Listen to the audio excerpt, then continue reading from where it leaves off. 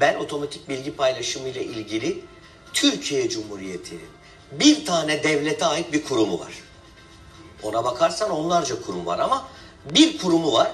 O kuruma yaptıkları müracaatta benim kesinlikle Avrupa'ya otomatik bilgi paylaşımı yapılmasını istemiyorum demesi halinde o kurum resmi bir garanti belgesi veriyor. İşte o belgeyi alan paylaşmayacağım belge. kesinlikle suçlu da suçsuz da ama bakın bir daha tekrarlamak istiyorum.